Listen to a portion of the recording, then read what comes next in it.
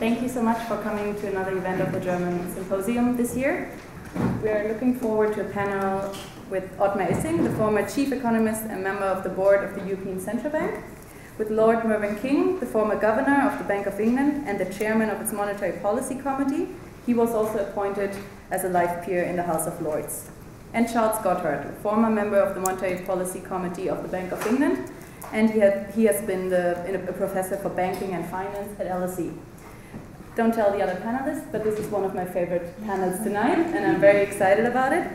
They will speak on the topic Germany and the UK, different visions on Europe, and at the end there will be a book selling of Mervyn King's new book. I already got a copy, um, and I'm very excited to read it. Enjoy.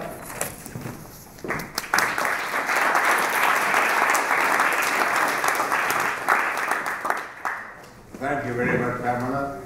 Uh, we are a group of elderly monetary economists. I think you could call us the M70 plus.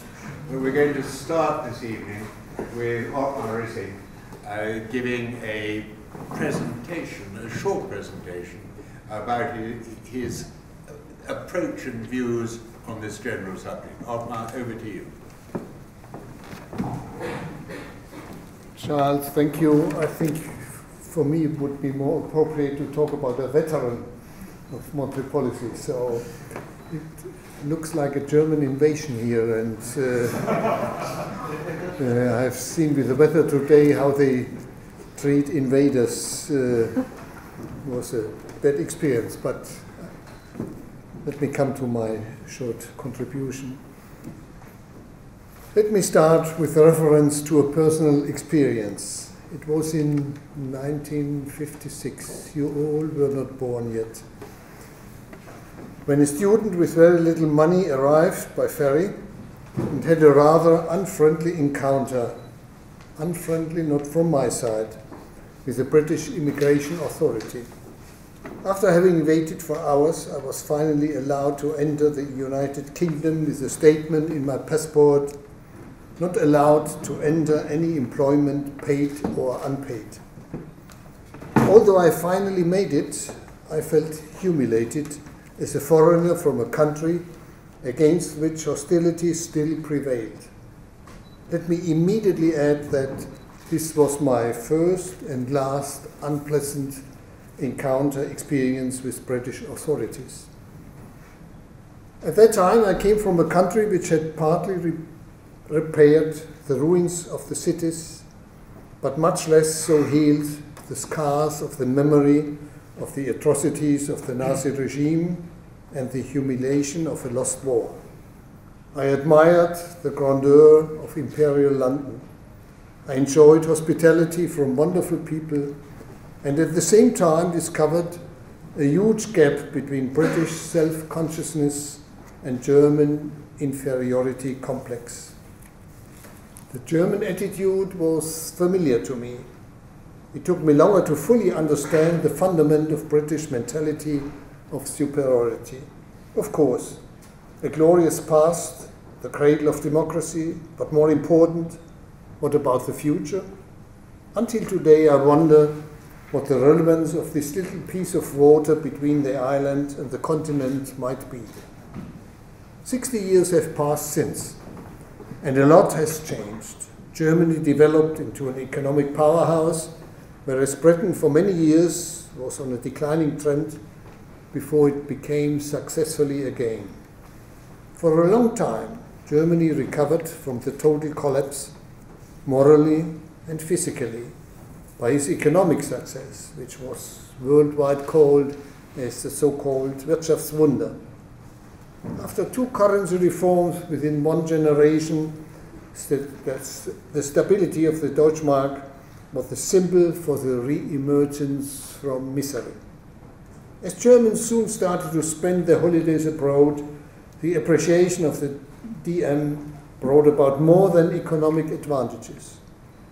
Whereas a German student in 1956 still had to pay almost 12 DM for a pound sterling, this relation had fallen below 3 DM at the end of the existing existence of the currency in 1998.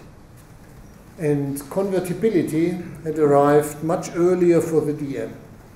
I remember that while skiing in Austria in the 60s, where I had a harmless collision with an English skier, knowing that he was allowed to get only a very low amount, I think it was 50, 50 pounds, uh, foreign exchange, we immediately agreed that I should pay for the beer. Today, Britain is again in the position of a country with higher growth. Unemployment is low in both of our countries. However, Germany has been complacent in the environment of good economic results and even redressed the reforms of the Schröder government, which were the cause of overcoming the former weakness. Western European integration for Germany was much more than economic success. It was the ticket for entry into the camp of Western democracies. As Winston Churchill had envisaged in his famous speech held at the University of Zurich in September 1946. Reconciliation between France and Germany was at the core for peace and welfare in the post war period, whereas Britain would and should stay out of what he coined the European family. Today, this characterization is probably especially relevant. For Germany, European integration in first place was always a political project combined with emotions which now undergo a hard test. In contrast, the UK attitude towards Europe was always pragmatic and rational. At the occasion of the annual meeting of the IMF in 1995 in Madrid, I had the completely unexpected privilege for a long bilateral talk with Margaret Thatcher. One remark by her exactly addressed this aspect when she told me, You Germans are somewhat strange people. When I enter discussions and negotiations, I always make clear what our interests are, whereas Chancellor Kohl would always start with reference to European goals. She was puzzled by this German behavior the more as this weakened Germany's negotiation position. We know what the source of this German attitude is. Germany has to live with its past. But I'm afraid that trying to exploit Germany's collective guilty conscience, even 70 years after the end of World War II, could badly backfire one day and stir up nationalistic prejudices on all sides. How vivid memories still are I learned at the occasion of a speech I gave in London in October 2001. I was at that time member of the executive board of the European Central Bank. An article in the Times said, I quote, Professor Issing is one of those Germans who have friendly but serious faces. at first, still the quote, I thought he reminded me of James Mason playing Rommel in the film. But I concluded that he actually looks rather more than Rommel himself. Considering the respect Britain, Britain shows for Rommel, I couldn't complain before I read the next sentence.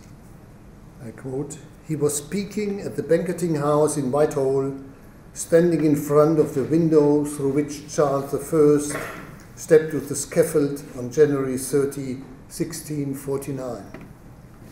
You might not believe anymore, but there was a time when serious discussions here in Britain considered the pros and cons of joining the euro.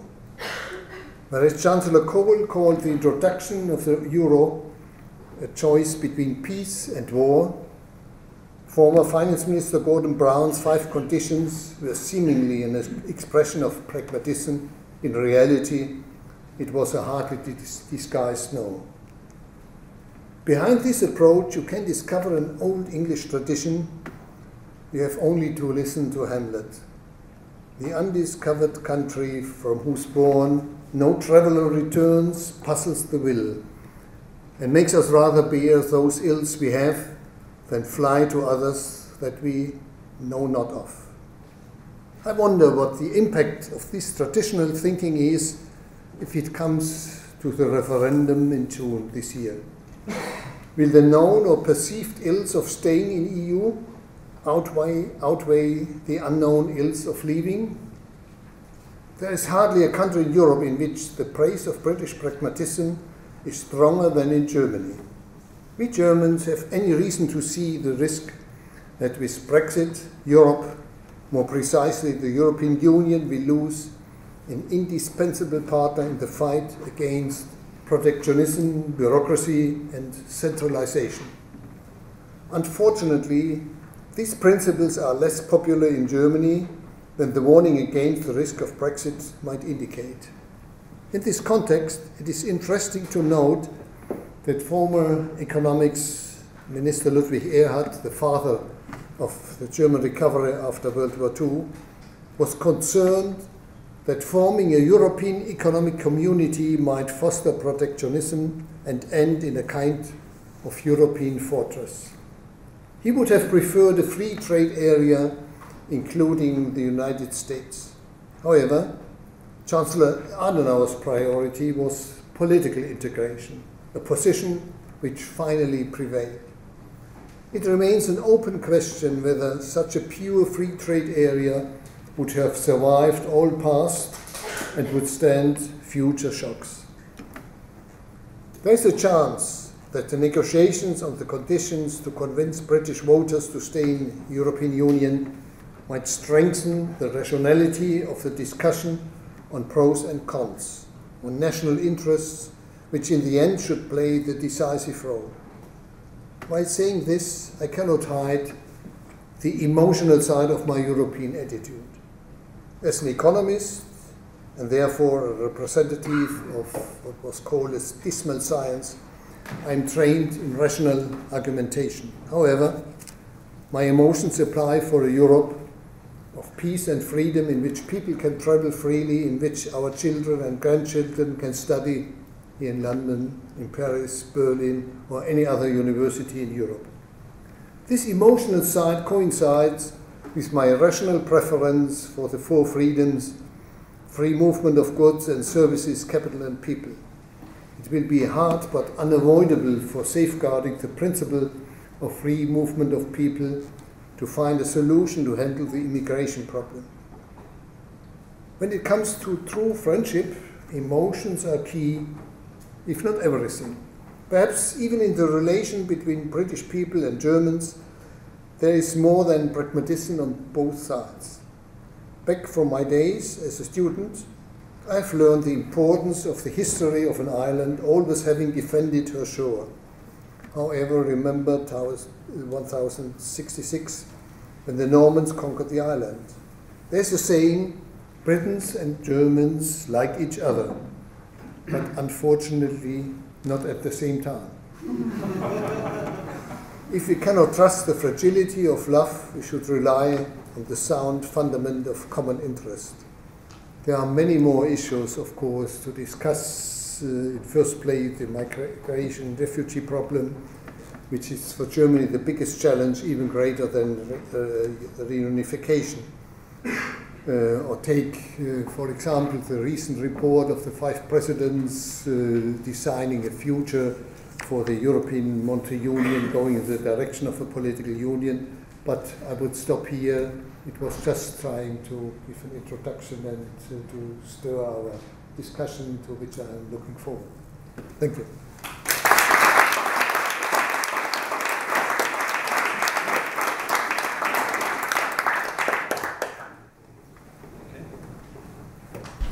20th century was not a, a happy experience. It started, in many ways, surprisingly, similar to the way it ended.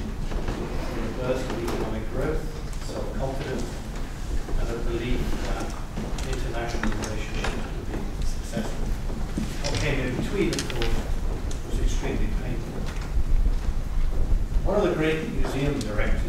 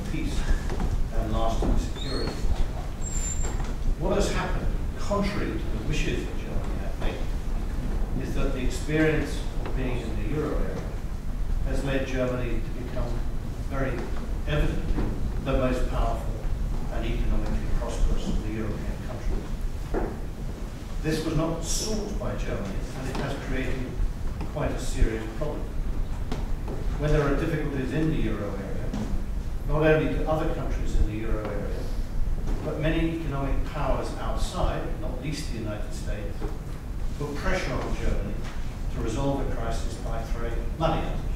That is an approach where people bring pressure onto Germany during a crisis. So this creates, I think, a serious dilemma for Germany. I'd like Otmar in a minute to say a few words about it.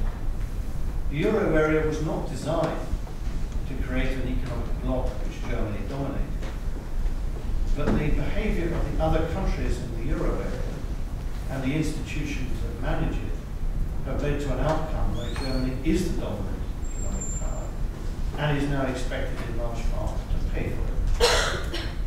I'm very struck that in the last few weeks, the three key central bank governors in the euro area, Mario Draghi, the president of the ECB, uh, and the two governors of the French and German central banks, have all said that in their view, the future of the euro area has to be either to go forward and create a European finance minister, which in some ways is a code for saying somebody outside Germany that will decide how much Germany pays to other countries, or has to go back to the original conception of a treaty with a no bailout clause and a stability and growth pact which is actually enforced.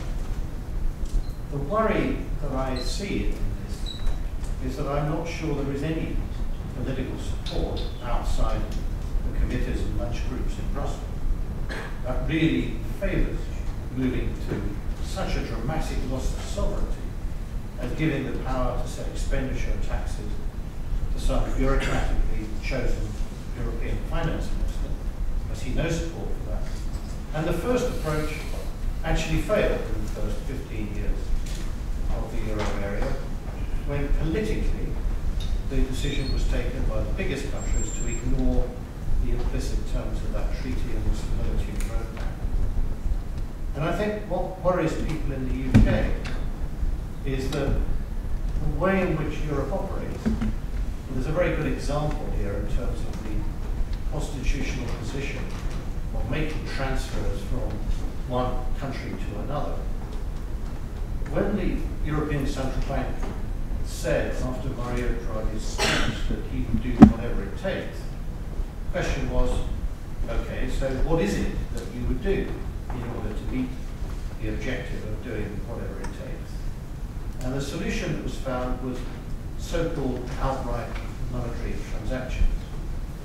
These were purchases, selective purchases of government bonds, where essentially the ECB would buy the bonds of countries whose sovereign bond yield would go up most, hence giving them a funding problem. I think on any common sense definition, those transactions violated the no bailout clause in the treaty. And the German Constitutional Court was put in an awkward position and raised questions about this and handed it on to the European Court of Justice, which in turn made a most peculiar judgment, which in essence said, if the ECB feels it wants to do something, then that's okay by us, which is not the normal way in which a constitutional court interprets a treaty or a constitution. And now it's back in the hands of the German Constitutional Court. It will be interesting to see how they wriggle on the hook of this particular problem.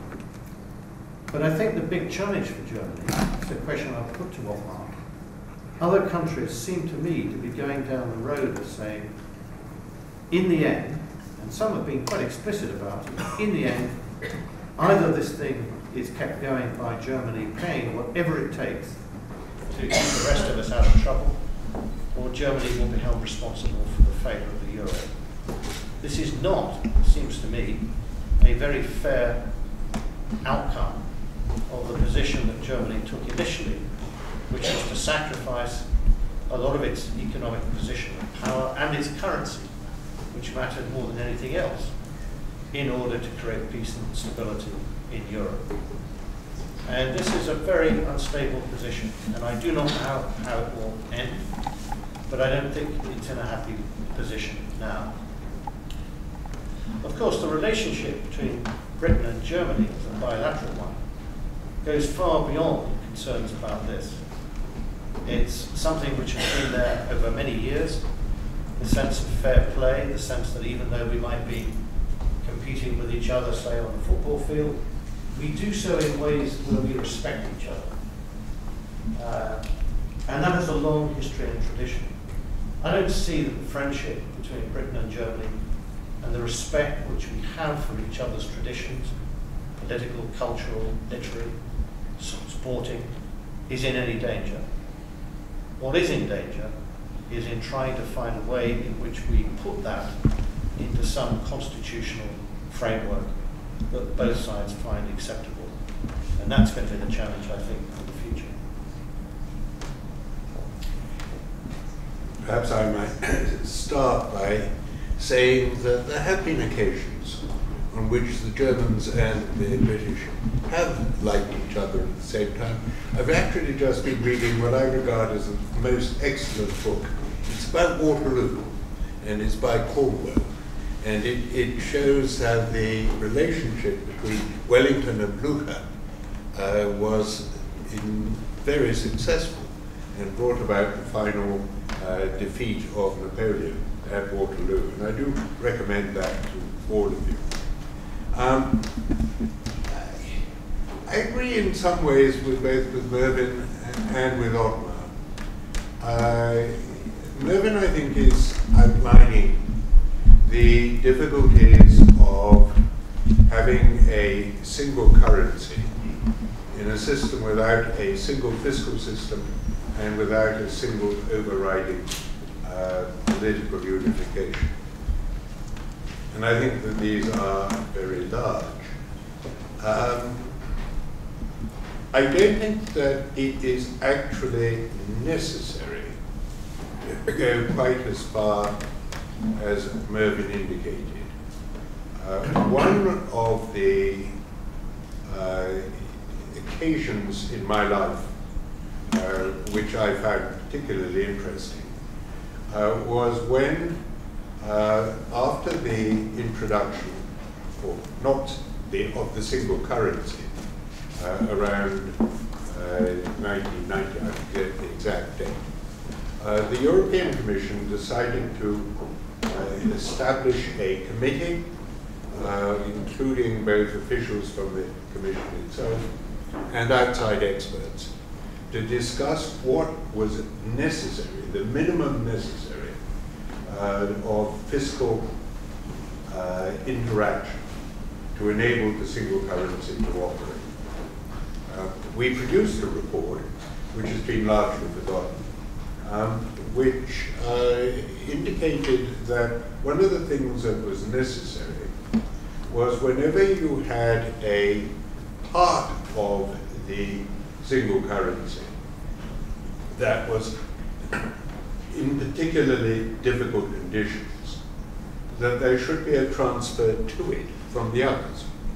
But it was whenever any country was out of line with all the rest, so that when Germany was having particular difficulties, there would be a transfer to it, and vice versa, when any other country. Uh, so that it was an attempt to deal with asymmetries in a symmetrical sense. Because you could deal with conditions when the whole of the uh, Eurozone was in difficulties uh, through a common monetary policy. Now that report was actually pigeonholed by Delors, uh, I think mistakenly, uh, at the time because he was trying to get a larger uh, European budget. He was trying to raise it from, I think it was 1.4% of European GDP to something like about 1.8%. And we were arguing that a properly designed fiscal transfer mechanism, which was not consistently from Germany elsewhere, but was, would be to protect whichever country was, or which indeed whichever region was most in trouble, um, could be done if it was focused for somewhat under 3%. And he thought that that larger number would scare the horses. That was, that proposal was not acted upon. And I think that both Otmar and Mervyn are correct to say at the moment there is no indication of any such proposal really coming forward, and very little idea that there will be uh, a significant move uh, in the Eurozone towards a single fiscal or a single political system. And that makes the adjustment mechanism in the Eurozone very problematic. I don't think that that necessarily affects the UK, in its relationship, uh, because we are not part of the Eurozone. We have much more flexibility. Um, and it doesn't seem to me that uh, the problems of the Eurozone, and they persist, uh, merit the UK trying to tear itself away from Europe. Uh, in my view, any such attempt uh, would be have very different, unfortunate implications, primarily for the UK. As a UK citizen, that worries me most of all. Um, the latest figures, polling figures, suggest that uh, in Northern Ireland, the proportion of voting for Remain is over 70%, nearer 75. Uh, in Scotland, it is over 55%, and uh, probably nearer 60. And in Wales, it is probably well over 50. So that if we were to leave, it would be England leaving the EU against the wishes of the other parts of the United Kingdom. And I just worry whether the United Kingdom would remain united if it was to leave on the basis of a purely English vote. Um, you know, there are already suggestions uh, by the SNP that if Scotland votes to remain and England votes overwhelmingly to leave, so we leave, that there would be another referendum. And I think, find the, the likely condition of Ireland, both north and south, uh, after that event extremely troubling. I think that Otmar has indicated very clearly uh, that if the UK was to leave, um, that that would be bad for Europe as a whole, for the reasons that he set out so very clearly and lucidly. And I think that that is also true. Um, so it seems to me that a vote to leave on, if you like, wider political grounds is a lose-lose vote, even if the situation is such that there are continuing difficulties, particularly adjustment difficulties, uh, within the operations of the single euro currency itself. But Otmar, maybe you like to respond now to both those uh, ideas, both those uh, interventions. Uh, a few remarks, first on what you have said, and to some extent it coincides with uh, your ideas uh, tells. Um, you said the monetary union was not designed, designed to give Germany a leading role. It was the opposite. It was rather the opposite. Uh, was at the Bundesbank at the time, and there was a saying in Paris that our monetary policy is produced in, in Frankfurt. And for a country like France, this was hard, hard, hard to digest uh, over time. So uh, for many, the idea was uh, that was the best way to get rid of the dominance of the Bundesbank. So uh, it turned out, uh, the disappointment, of course, was uh, even greater against those expectations. Uh, just to add on a personal note, uh, I was part of this uh, transfer of Bundesbank tradition to, to Europe. So this is the first thing, the point. The next point, Mervyn, and here you refer to this um, statement of French and Germans uh, on the European finance minister. By the way, uh, Jens Weidmann, uh, when he discovered the reaction to this statement, he retreated as much as he could, because I was very surprised when I read it. Um, and the key point is the key point is the following. Uh, it was here in London at the Institute of Economic Affairs in 1995-6 about that. Uh, uh, uh, published a paper, gave a speech, a paper, and the question was political union through common currency. And fortunately, in the last moment, I discovered I had forgotten the question mark. Uh, because it was an old idea by Jacques Rueff, uh, written in 1950, uh, saying uh, l'Europe se fera par la monnaie ou se fera pas. We, we get Europe by money or we, we will not get it. It was the idea that a common currency, a single currency, would work as a pacemaker towards political union. Now we see the impact of the euro is rather the opposite. Is rather the opposite. So against this background, any move in the direction of political union via fiscal union is for me the most dangerous path to follow. Because people will not accept it. Uh, Germans will not accept it uh, to pay for that. Uh, others will never be satisfied with what is in the, bo- in the box. Uh, so uh, the idea of uh, creating a fiscal union, uh, European finance minister whatsoever, in, finally we lack the needed democratic legitimacy. And this is key, because this country, when the competence on taxes and public expenditure was taken from the king to the parliament, this was the cradle of Western democracy.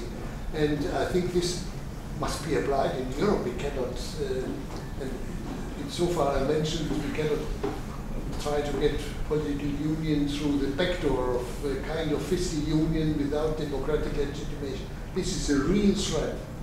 And uh, beyond economics, this is a threat also insofar um, you, you have the sentence, neighbor make good, fences make good neighbors. I'm not in favor of erecting uh, fences, but bringing people too close, closer than they wish to be, in political terms, is uh, doomed to fail, lead to disaster. So I think we should, should do everything to stabilize the present situation, and I agree with both of you that I think uh, German-British relation, even after what I hope doesn't uh, happen, uh, exit of uh, Britain could be even stronger than uh, within, because we are part of the same tension sometimes. Sometimes, and there's an, uh, little evidence of that. You mentioned Neil MacGregor. He's now uh, chairman of uh, the new museum in Berlin. Uh, so um, this shows that th- this cultural uh, relations, ties uh, bind together uh, beyond uh, quarrels about uh, details of fiscal policy. So can I make two, two points and then tell a story? Um, the first is that Otmar is absolutely right about the dangers of trying to force political integration at a pace faster than people want to go. We have no idea what our great-great-grandchildren would choose to do. Maybe they will want to live in a single European state, maybe they won't. But we don't need to decide that today, and it's not for us to decide. What is important is that bureaucrats around the world do not go further than they have the legitimate mandate for, and I think Otmar is absolutely right on that. Second point, uh, Charles made a very important point here. The euro area and membership of the euro is a different question altogether from membership of the European Union. These are not the same issue at all. And indeed, within the debate in the UK, both sides of the argument in terms of whether the UK should stay inside the European Union or not, both sides agree that we should not be part of the euro. So these are quite distinct questions. The story, I'd like to say something about the day when Otmar and I met, because although to us it seems like only a short time ago, very few people in this room were probably born. Uh, some might have. Anyway, 1992.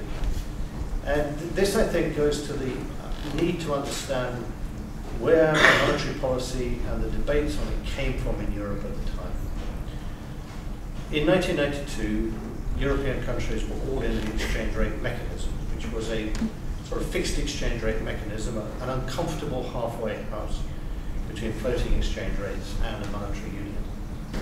And um, Britain was in some difficulty because after German unification, the increase in demand that took place, it was pretty clear that if Germany had had a floating exchange rate, the exchange rate would have gone up in order to cool and dampen down domestic demand uh, to ensure that there wasn't inflation in Germany. And that was pulling up the Deutschmark and other countries being linked to the Deutschmark, their currency was being pulled up, well, constant to the Deutsche Mark, but we had to follow the interest rate policy of Germany. And Germany had to raise interest rates to dampen domestic demand, given the exchange rate freely. So interest rates in the UK were high, and we had a deep recession. And it was very clear that there was a political impossibility of carrying on imposing a level of interest rate which was going to cause deep damage to the economy and war than anything else, very politically unpopular. And Alan Budd, who was at the Treasury as Chief Economic Advisor, and I were sent to, to Frankfurt, to the Bundesbank. And the background, of course, was, and this is the, the key point to understand, so different from today, virtually every evening on the BBC News, the lead item was what is happening in the Bundesbank. And you'd see pictures of the Bundesbank as the lead picture on the television news because monetary policy was made in the Bundesbank and no longer in London. And this was regarded as a very difficult and serious thing. And every night you see someone with a microphone speaking outside the gates of the Bundesbank with that long drive in the background to the building. Um, and uh, this was something which was you know, clearly part of the, of the political firmament. And the question was, you know, could this continue or not? Anyway, Alan Budd and I were sent to Frankfurt to try to persuade Otmar, in particular, that the 295 exchange rate was the right exchange rate and it's perfectly appropriate and there should be no deviation from it. And Germany should do everything it could to try to support this exchange rate, oblivious of what might happen in financial markets. And you know, Alan and I turned up and we had lots of coloured charts. Otmar was very polite, but frank, colour charts do not override a coherent economic argument, which was, as Otmar politely pointed out to us, that exchange rates sometimes go up and they sometimes go down, and 295 might be the right exchange rate one day, but not another. And frankly, this week, 295 didn't seem to be the appropriate rate. And it was a most extraordinary day because uh, we turned up, classic you know, British tax, we turned up on the day when the Bundesbank Council was had an emergency meeting to ratify a provisional decision to lower the interest rate reached a political agreement the day before. Never happened before in the history of the Bundesbank. So this was a pretty extraordinary morning. And there was a lot of excitement in the Bundesbank as Alan and I wandered around, you know, marveling at all this. And um, Italy is about to crash out of the exchange rate mechanism. Uh, and even physically, the thunderclouds were crashing above the Bundesbank. You could hear the thunder and lightning as we arrived. It was certainly Wagner-esque in the extreme. Um, and what it demonstrated was that a fixed exchange rate system, which was a halfway house, certainly couldn't work because every time a British politician said, we'll do whatever it takes to keep the parity at 295, what they meant was, since we're not prepared to do whatever it takes, we'll say so instead. And that, I think, is a lesson could yet come back to be an important question for the ECB. Because when Mario Draghi made his famous speech in London, which I, I was chairing the session in which he spoke, and he said, we'll do whatever it takes. Actually, he has no mandate to do whatever it takes. Because to do whatever it takes is going to require some difficult decisions by politicians, which have not been given to him. And so that is a, a question which at some point in the next few years the markets are going to test. But to come back to the, the basis, I think that you know, doesn't, I mean, the idea that the UK's decision this summer is the most important issue facing Europe seems to me rather odd. So what I'd like to is ask on the following question. The, the European Union, at least on the other side of the channel, faces two really big major headaches, not crises. One is to do with the evolution of the euro, how that will be, be. And the second is the migrant crisis.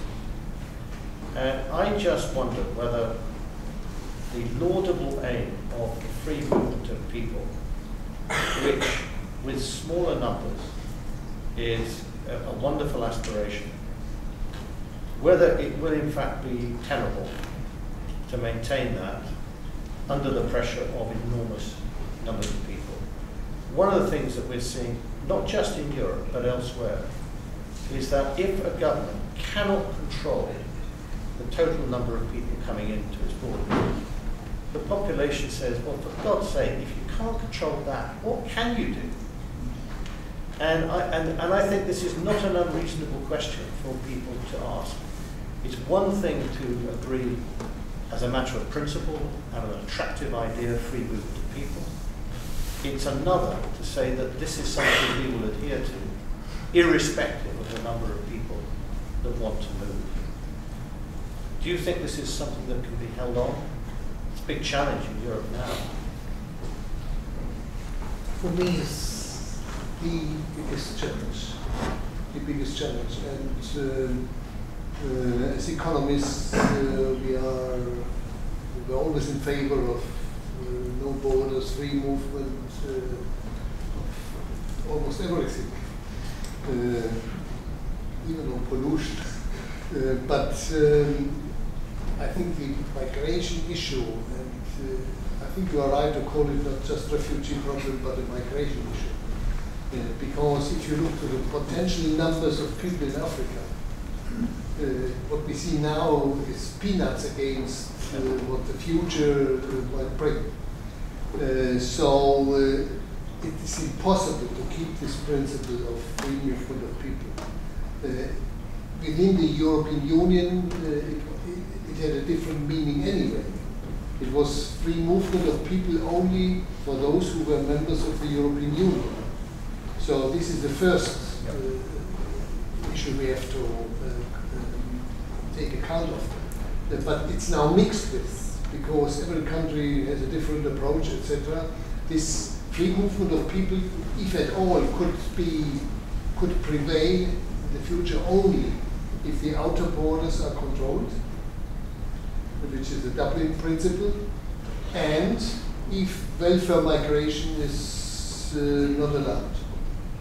Even within the European Union, welfare migration would ruin this principle. Uh, so, uh, to, to, to have a common approach to that we are so far away from that, so far away from that. So I'm very concerned about that. But on the diagnosis, I fully agree with you. And I never considered to become a politician, but I was never more satisfied not to have become a politician than today. Because for a politician, this is, it's a nightmare. It's whatever you do, whatever you do, and uh, Chancellor Merkel, with her, with her remark, uh, we can, yes, we can. I think this is, we can't. It's very simple because it's for me impossible. Integration is key about integration in the labor market. This is key. And uh, all experience shows that over time Germany is graying and shrinking. So uh, uh, selective uh, migration policy would have been the appropriate approach for Germany. But uh, there were the humanitarian ideas, it's wonderful, but initially from Syria there were coming doctors and architects, etc. But now very clear that roughly one third are almost illiterate. So, uh, how long will it take? Uh, How much will it cost? I think it's impossible. And in the meantime, what's going to be done about Greece? Because Greece is the country which is most economically and difficultly. And now with the Macedonian border being shut, it is the country which is facing the greatest inflow, inevitably, of the migrants, which it really cannot handle. It hasn't got the ability uh, to police its borders anyhow. So I mean, we've got an immediate Greek problem on our hands. And what's going to happen on that? And I think it's there's any reason to blame Greece for what they have done, what they should have done. But this is minor to the challenge they are confronted with. Uh, this is absolutely impossible for them. Uh, but I think the idea of the chancellor is uh, that you have uh, control at the outer borders. You have a limited. Uh, How do you have, how do you have control at the outer borders when the outer borders effectively are islands about two miles away from where the migrants are? You can't control it that. And you, you, it's almost uncontrollable in that sense. So, raise questions, you have an answer? No. I'm the chairman. Chairman never have to give answers. So, we have to give an answer. I'm not going to give an answer to a Yeah, problem that I- no, I, I think there's no, no simple. In Germany, you meet so many people who have a clear answer. Uh, Any person who claims to have a clear answer for me is somewhat insane because. But I think the key point here, and this is the thing that a lot of the um, intellectual elite ignores, is that the responsibility of each national government is not to solve the problems of Greece or Macedonia or anyone else. is to solve the problem of the people who elected them, their own country. And so what you will find is that there are solutions for individual countries in Europe to protect their borders and prevent numbers out of control coming in. And you would expect, and it would not be at all surprising, and it would indeed be democratically legitimate for those countries that can impose controls to do so. That's what you would expect, and indeed, find it very hard to criticise a government that was responding to the will of its own electorate in this respect. I don't think any of us have an answer to the problems, either of Greece or indeed, for that matter, of Syria. And although you can criticise governments for not doing more, deep down, in the end, it is not the responsibility of the French or the German or the British governments to take sole responsibility for dealing with the problems in Syria. One, one of the things that always well, makes me worry about these issues is that the areas which are most concerned about immigration in this country frequently the areas where the immigrants are least, well, there are fewest of them. I, London is one of the areas where there are most immigrants. It's one of the areas which is actually most in favour of remaining within the UK. An awful lot of the, the, the immigration story uh, is, I think, uh, really baseless fears. And Oh, there's very- that's not true, Charlie. There's very If you had a million people coming into the UK, the sort of problem that Germany is facing, that, that's not an irrational fear. If you had children in London who are coming to the end of their primary school career and they can't find places in secondary schools because the government has failed to keep up with an unpredictable increase in population, this is not an unreasonable fear. And I, I, I think that this is exactly the sort of problem that we face, that we've had people who say immigration is good economically, in some vague general sense it is, but uncontrolled immigration is bound to create the fear that the government is not in control of it, it's not deciding who is coming in, and it simply doesn't know how many are going to arrive, so it can't provide the facilities. That is something which I think is perfectly understandable that people are exercised about, and they will certainly voice that. And I think that governments cannot ignore that, and those that have ignored it, you know, our own government, which made promises on immigration, which it couldn't keep. This is the kind of thing that undermines trust in government, when governments promise to do something knowing that they can't do it. That's what they shouldn't do. But the immigration from the EU is only a proportion of the total immigration. There's a whole lot. immigration. And much of the much of the immigration are actually students like we got here this, uh, today, uh, who will in due course, many of them, uh, return to their own countries. And the, the universities uh, will find it extremely difficult to continue uh, if the immigration figures are cut back uh, as tightly as those who wish to leave the EU would like.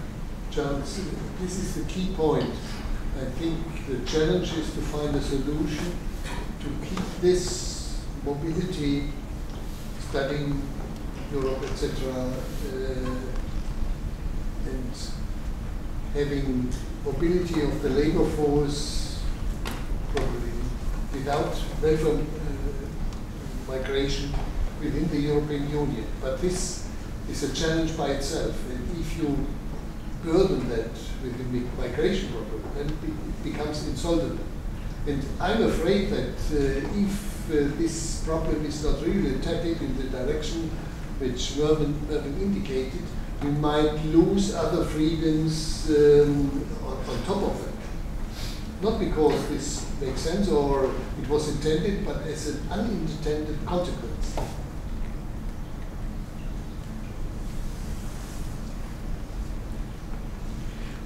We- haven't really, and you haven't really, and Otmar, do you think that the, you, you, you've excluded a shift towards greater fiscal union? Without that, given the stresses that we've had and which are likely to continue in the euro, how do you see that working? How would you make the euro work better? And why do you think that uh, growth in the Eurozone has been so disappointing over recent years? Oh, The long story, I cut it short uh, with the risk of creating misunderstandings. First, I think the crisis was, apart from the global financial crisis, is self-inflicted by countries. Uh, with wage developments, etc., with violation of the Stability and Growth Pact. By the way, I never understood, uh, you mentioned this report back in, the euro started on the 1st of January 1999. Uh, I think if the Stability and Growth Pact would have been taken serious, the implication would have been that the country in normal times would have a balanced budget, and if it would have a high debt ratio, should have a surplus. If this condition would have been fulfilled, the country would have left, have left three percentage point of GDP for its own fiscal measures uh, to deal with asymmetric shock. And by the way, the Stability and Growth Pact said, if there is a deep recession, you can go above below deficit of 3%. So this is more than any country probably has ever uh, applied. We have made studies at ECB, I think over 50 years, only a few cases in which countries with counter-fiscal measures have uh, exceeded the 3% GDP limit. So it's just not true that this was a, a design which couldn't work. Uh, it could have worked. And uh, on fiscal transfers, my point is the following. Uh, by the way, who would know in this room that Greece, for example, year per year gets a transfer between 3 and 5 percent of GDP uh, from European sources? Would you ever read it in the Financial Times or hear it from Paul Krugman and others? They talk about uh, the Greeks are left alone. They get substantial, and this is fine. It's a transfer, it's decided by parliaments on the national level, on the European Parliament, Commission, and this is a transfer from richer countries to poorer countries, in principle. In principle, a lot of money is wasted, etc. Uh, but in principle, it works in this direction. the all the fiscal mechanisms, which are also implicit in the proposal of the five presidents, create a fiscal transfer mechanism which is triggered by bad macro policies. Take, for example, uh, the idea of having a European uh, unemployment insurance. Uh, you get European support if you make bad labor market policies. This is this is the wrong incentive. It's a wrong incentive. And for example, the Slovaks complain that they have lower standard of living than the Greeks, and they are forced to contribute in this implicit transfer mechanism. So I think this is a misguided idea. And I, I know I, I, I've not uh, read all the, wonderful designs by our uh, brilliant uh, economists with all caveats, etc. On paper, it all works. In practice, it would always boil down to that the country who is in self-inflicted policies gets support. And this is creating moral hazard on a level which is. Why does that not work in the United States? Why does that not work in the United States? And why does Alabama not take up much more sort of risky policies? Because there's, you know, the insurance is paid from Washington. And uh, when Alabama gets into difficulties, they get transfers from Washington. No, they get transfers via the social security system and the tax system, and it's one country. It's one country. Uh, the mechanism here in the, the euro area cannot be applied in, in the same way. But I mean, in Germany, there's the, the whole process of transfers between your, your Länder. And if one Länder gets into difficulties, Now, this is a mess. hmm? This is a mess because this is a mess if, um, yes, it happens for Bavaria. If, if Bavaria increases its tax revenues uh, by one euro, 80% of the additional tax revenue goes to other countries, uh, states. Uh, this is a, a misguided mechanism. And the idea to export it to Europe is, is, a, is a crazy idea.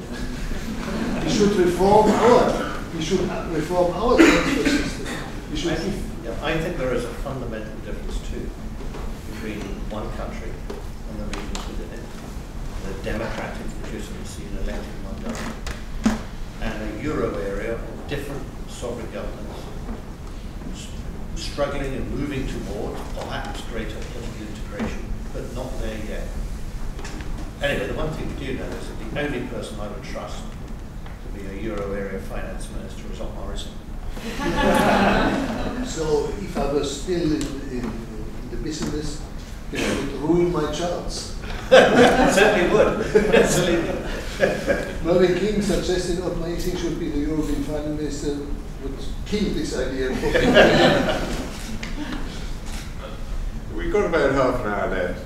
Are there any questions from the audience that you'd like to? Left at the back. You'd like to stand up. Just to clarify one point on migration and um, school problems in London. Yes, there are huge um, shortages of school places. That's primarily due to recent in-migration. The big driver of the population change in London has been a higher birth rate, which might well be second-generation immigrants, but it was predictable. So I think that Mervyn has been a little bit pessimistic in thinking that we can't cope. We, we could have coped, we just failed to plan. Well, there's a difference between whether we could cope and whether we are coping. Uh, maybe if you'd been in charge of it, we would have coped. But we're obviously struggling now. But I think the issue here is not so much what's happened so far, but what would happen if there was a significant wave of migration inwards. And I think the idea that the European Union could accept migration on the scale that looks likely, particularly if Europe were to give the impression that it welcomed all migration, and that this would be in some sense rationed around the European Union, is something that is guaranteed to create serious political hostility.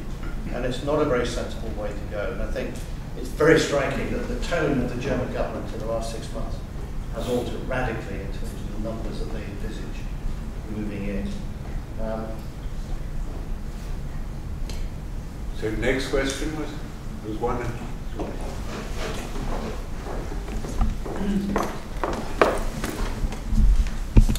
Um, thank you for your talk. Sven Tudik, I'm a graduate student here at LSE. Um, my question is for Mr. Issing and uh, Lord King. Um, Mr. Issing, you talked about uh, Helmut Kohl who tied the future of the euro to peace and war. And we've also heard similar comments from Mrs. Merkel, uh, who said in, I think, 2009 or 10 that if the euro fails, then Europe fails. And I have to say, I think this, um, this connection quite peculiar because it suggests that the idea of Europe or the European integration will fall apart once we don't have a euro. So my question would be, what, what, what's your view on this notion that if the euro fails, Europe will fail? Short answer is I fully agree with you. Europe is more than the euro. There there is one part of truth in this remark by Mrs. Merkel. Uh, if the euro would collapse and fail, it would be a political disaster. Uh, how to manage that would be very difficult. So, and the euro is now here. Uh, we cannot go just go back and say it was a bad idea. Uh, let's go back to square one. Uh, so it would create uh, lot of political difficulties, and in this context, it would certainly uh, hurt the relation between France and Germany, for example. Insofar, uh, there is an element of political uncertainty in that, uh, and insofar, European relations are threatened uh, by the risk of the collapse of uh, the euro. But uh, I think this were all about Europe, it would, uh, it would be really uh, a sad situation. I, think uh, I, I, I agree with you. The, the Schengen area is much closer to the potentiality for collapse. How serious would that be, either politically or economically? Um, today I arrived from Frankfurt. Uh, I had to show my passport in the city airport. It took 10 seconds. Uh, so uh, it's easier to go to Spain and not show my passport, but this is, this is not relevant. I think for business uh, and commuters, etc., it's raising costs, no doubt about that. But I think as economists we are used to weigh the advantages, disadvantages of solutions. And if we need border controls for the migration problem, I think we have to uh, ta- take the costs of uh, some hindrances for free movement of uh, goods uh, as a consequence. But I think this is not something which would is totally. We have we have had that before. It's a cost, no doubt about that. Uh, but I think it can be in, in relation to keep borders open. I think it's, it's worth the price. So I, I share that view. I think that um, in, in response to your question, Charles, if the Schengen area agreement were suspended because of a potentially large number of migrants coming into Europe, people would understand why that was happening, and it wouldn't be a defeat in some sense. Would be a rational response to a problem that we hope might be of temporary source, but at least it would be an understandable reaction. I think the sad thing about what's happened in the euro area is precisely that too much is being invested. the stakes are being raised far too much. There is no reason why Europe can't be a peaceful, prosperous area, even if some countries were to drop out of the euro area. and the tragedy would be if, in the wake of some countries withdrawing, the political interpretation of that was such that we lost many of the benefits and other aspects of European integration, such as, I'll give you one simple example. When I was a young academic, it was not possible for a British citizen to have a teaching post in a French university, uh, period. And you would have to go there and, and do a PhD and take the agrégation and so on. The acceptance, the mutual recognition of professional qualifications, the exchange of students, the ability to move, if you're a citizen of France or Germany, to each other's country and to Britain to work there, all made a great deal of sense and was a very attractive part of it. But if circumstances change, whether it's migration or whether it's developments in the euro area, what we, I hope we can maintain uh, is the ability to keep those parts of integration which everyone wanted to achieve. And there was never any disagreement, I think, within the European Union about that. And the UK was always very supportive. So that degree of cooperation, that degree of quote integration must be retained, even if other things go. And if people make those other things, those totems, so important that they interpret them as peace or war or the collapse of Europe, I think that gross exaggeration disservice to the cause of European countries working together. Further questions? There's one at the back. To it. And that one halfway down, please. Hi, uh, thank you for a very interesting speech and uh, talk.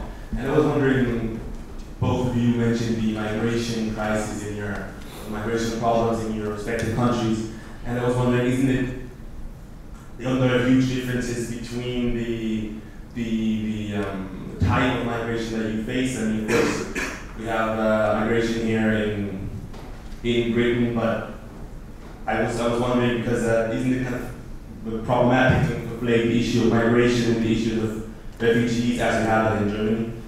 Thank you very much. I didn't quite get it, but could you rephrase the question as a single sentence? Sure, I'm sorry. Um, no, I was wondering if there was, it appears to me that there was some kind of conflation or confusion between the, the term migration and refugee, and maybe that was on purpose, but it just appeared to me that that is a bit problematic if you do. Thank you. Uh, I, I, I think I would like to, to stress one point, uh, which is uh, due to the German past, which, to which I have referred several times in my short contribution. Uh, in our constitution, we have an article that, in principle, uh, anybody in the world being prosecuted at home has a right to seek as- asylum in Germany. This is due to the fact that uh, Jews in the the time of the Nazi regime uh, did not find uh, shelter uh, around the world. Uh, against this background, Germany felt a moral uh, uh, obligation to have this article in uh, the constitution. Uh, so uh, it- it's violated anyway all the time before, because, uh, so any individual case would have to be judged. uh, Um, this creates the management tremendous problems, but uh, the present problem is not so much that because, um, by the way, uh, this would not apply for those who come through all the way from, let's say, from Turkey, because uh, these people are always arriving in countries in which uh, they are not persecuted. So it's legally very complex.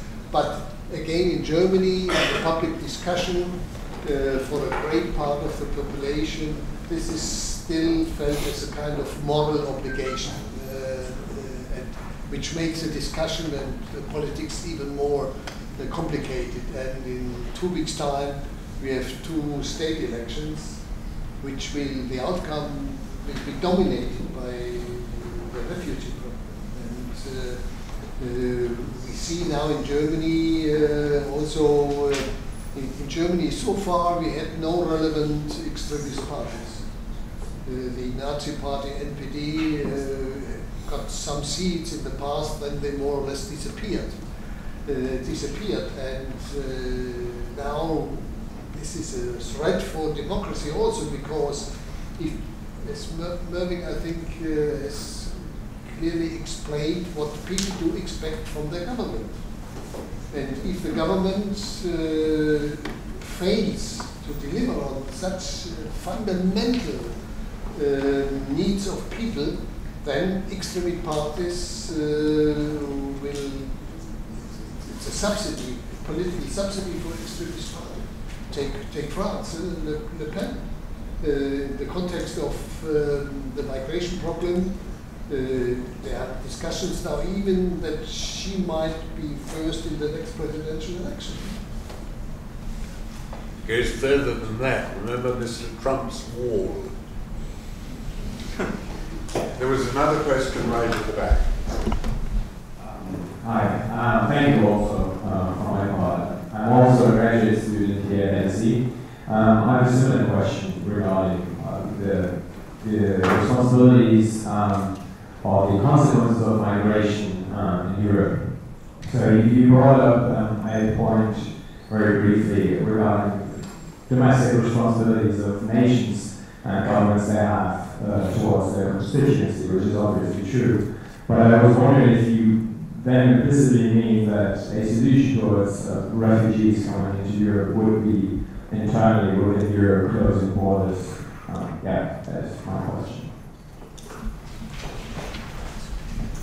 I think my, I, I don't know what the right answer is for other countries, and I, I wouldn't presume to, to give advice, but I think that a government that wishes to take a moral lead in trying to solve an international problem can do so only if it can convince its own citizens that it has actually got control over the numbers of people coming into its country.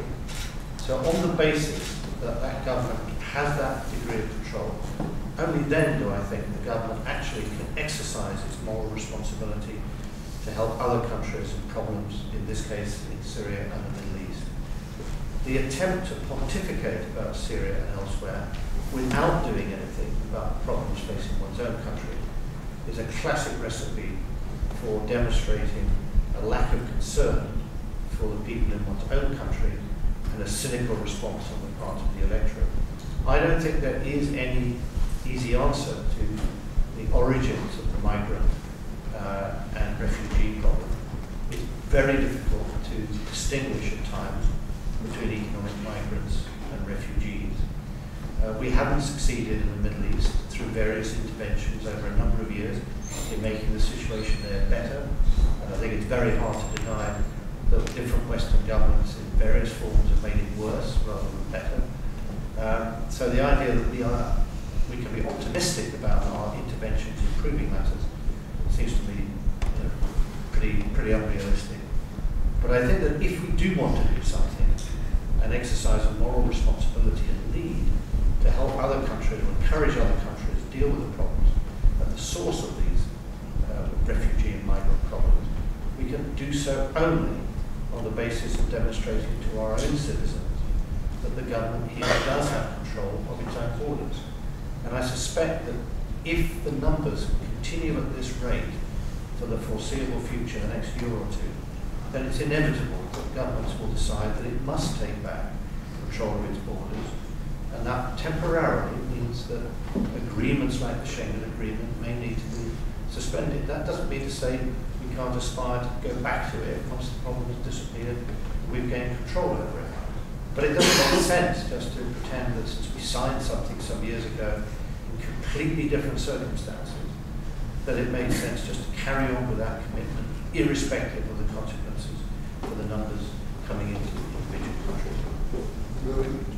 Just to add to what you just said, to clarify for the German situation, uh, I think we just take the Chancellor, uh, Mrs. Merkel. Uh, her position is, uh, let's say, out of humani- humanitarian uh, uh, concerns. But her sentence was, yes, we can.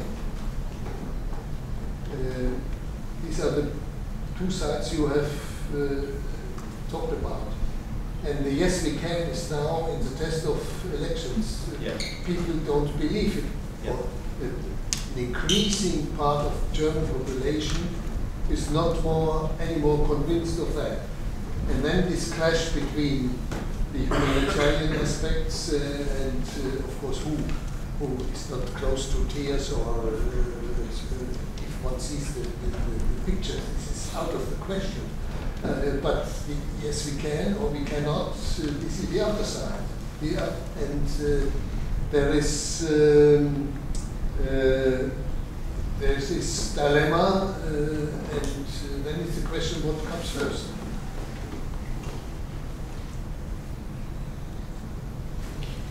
I must say though, I'm, I get increasingly worried about what actually is going to happen in Greece and Italy. And they can't stop from coming over to the islands. Um, and they get bottled up in Greece. Greece will be in an impossible situation. And Italy may be not far behind. One of the, one of the routes that is likely to develop is that many of the migrants will try and cross the straits between Greece and Italy. Just a word on Italy. In Greece, I fully agree with you. They also in the past they have failed almost everything in this respect too. Uh, but again, they are now in a situation which is unmanageable. Italy so far, I think the Italian, I would call it propaganda, has worked. I see it from your remark. Because Italy so far had a position showing the pictures of people arriving in Lampedusa and then bringing them through the train to Germany. Uh, the, the refugees remaining in Italy, i- it's changing now because there are too many. But initially, they needed, it's a bit sarcastic, uh, they showed the pictures of Lampedusa and ministers came, etc., and complained. Uh, at the same time, the trains were waiting uh, and they uh, passed through to, to, to Germany. At the risk of being indiscreet, um, there was a meeting between Chancellor Merkel and the Italian Prime Minister where um, she said very gently, she said, no, very impressive, many of these people coming in. They're obviously very well informed. It's extremely impressive how quickly they seem to get from Italy to Berlin. uh, and the, the suggestion was exactly on the lines that you indicated. But I wanted to say well, we should get back to the, the question of the cultural links between Britain and Germany and, and how one of the, the worst side effects of the way the British media treated um, the consequences for Britain of the Second World War, where um, you know, it, it certainly ended our economic, it, it cemented the end of our financial and economic dominance. And for a number of years, um, British ministers saw their job to manage economic decline. Uh, it was a very pessimistic approach, and it really wasn't until you got to the Thatcher regime that said, look, let's stop worrying about decline and now let's be more self-confident. Um, the the links between Britain and Germany on the cultural side, you know, were overshadowed. Mo- most British school children were brought up with a very odd view about Germany, and they knew nothing about the great history and tradition of German culture.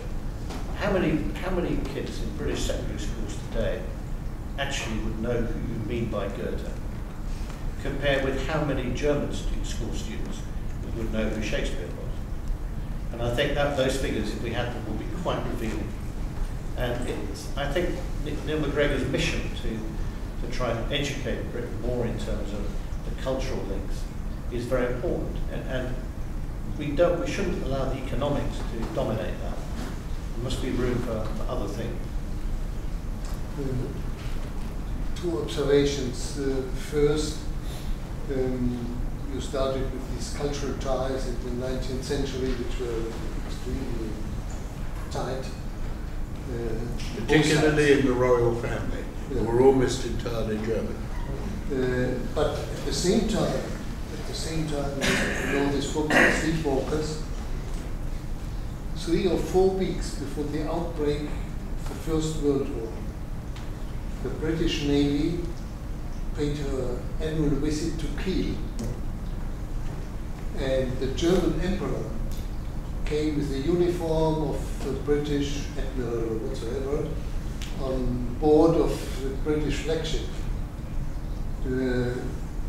Four weeks later, uh, the war broke out. So um, I, I, want, notwithstanding all the cultural ties, so um, I, I, I just make this point. Well, but also notwithstanding all the economic ties, I mean, the argument that was made before the First World War was that it was inconceivable that the countries that actually got involved in the conflict would go to war, because the four great powers were the biggest trading partners in the world, and they were each each other's biggest trading partner, and it didn't prevent the outbreak of the war. I, I would, I would, I, my history, memory of history is not is all that great, but there had been flashpoints before.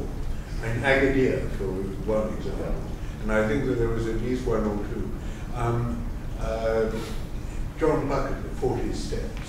But all of these were interpreted as flashpoints that weren't allowed to get further, precisely because the degree of economic integration was so great.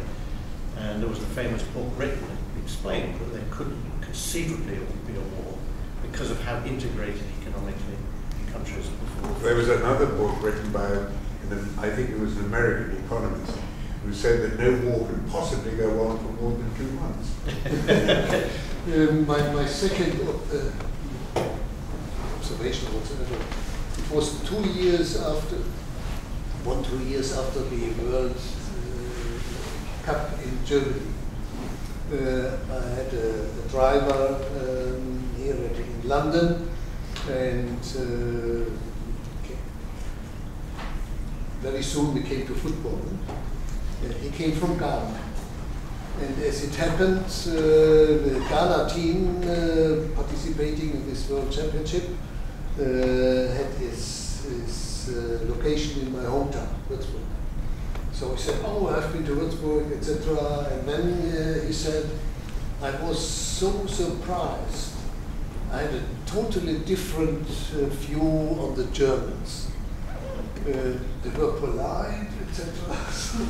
uh, he, he, he, he was he was almost shocked uh, by the difference of his previous impression. And of course, at that time, the Germans we had good weather, everything worked together. So uh, Germany looked, and Germans looked much better than they normally are. I, I know, but notwithstanding that, uh, he told me that, and he said, I asked him, how come that you had such a bad impression from, from Germany?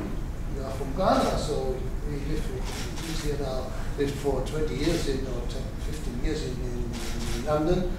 And then I said, uh, probably from newspapers and TV. And he said, you are right. From now on, I never believe on TV and newspapers.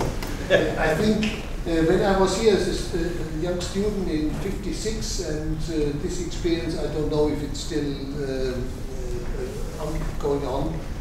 Uh, every week, if not every second day, there was a movie of a German prison camp uh, in the Second World War, and uh, the Germans were the stupid, of course, guys. They uh, were speaking German uh, language, which I didn't understand until because they were just shouting. And, so, um, and um, the children was in the afternoon, etc. Uh, it had a long, long tradition, a long tradition here. Has it disappeared? Well, there are other traditions as well. In Hollywood, for example, all the baddies are English. so, um, But I think your friend would have been even more surprised if he'd met the German football team. Because he would have discovered a group of people who, on average, were markedly more intelligent than the average English footballer. that, is, that is one reason. That is one reason why German national teams do well in World Cups because they have the ability to go abroad and enjoy being abroad and can play to their best while abroad, whereas every English team has the opposite. So there was a wonderful moment in South Africa when the World Cup was in South Africa, uh, when, and of course Germany beat England, it was 3-1 in that match. And just before the match, uh, both the English and the German teams had gone to a game park in South Africa. And you could, they, they showed pictures on television, of the two teams going on consecutive days to the same game park. And the German team, when they went there, they were looking at the animals, they were you know, pointing, they were discussing in an animated fashion what they were seeing. They were enjoying being in the game park. They were enjoying the experience of being in South Africa. The English team, when they went, they showed pictures of. Every single English player had headphones on while they were in the game and you could see from their body language that the only place they wanted to be was back home in London or Manchester. and that is one reason why they perform badly in an international tournament compared with players who are, and noticeably, I mean, it's a different, it's, if you look at the, the structure of the German national team, how it's organised, it is designed for a group of players with a somewhat higher level of intelligence. it was the great German manager Ottmar Hitzfeld who managed the, cup, the, the World Cup winning side in, 90, in 74 and again in 78. And in 74, Germany won the World Cup on home soil. 78 in Argentina, Germany lost it and didn't play well. And Hitzfeld was asked by German television what was the difference between the side that played well in 74 and the side that played badly in 78? And the answer he gave was one word, and it was a word that no English football manager would ever use, which is why most Premiership clubs are no longer managed by English. And the word was intelligence. and there is a real footballing emotional intelligence required to play anything at the highest level, whether it's football or monetary policy. So we send our best students here to LSE, huh? Absolutely. to improve the quality of the English. Absolutely. we hope it rubs off. I'm not quite sure what this implies, but Mer- the team that Mervyn has supported forever, now bottom of the Premier League. The team that I've supported forever is now bottom of the Championship. And we both need more German players. Exactly. um, I'm afraid our time has actually run out, and, Lord King has got another commitment he's got to move on. But before we end, can we thank Otmar and Lord King, Otmar Issing and Mervyn King in our traditional way? Thank you very much.